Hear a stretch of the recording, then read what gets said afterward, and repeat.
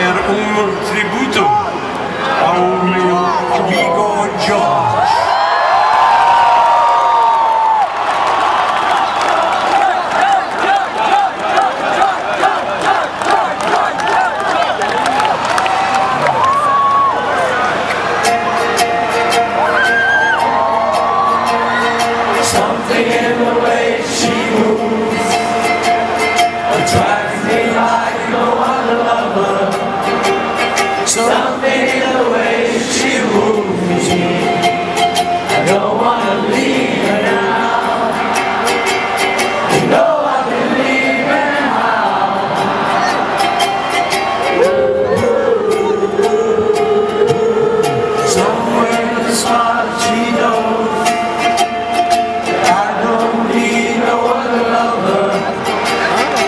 I'm thinking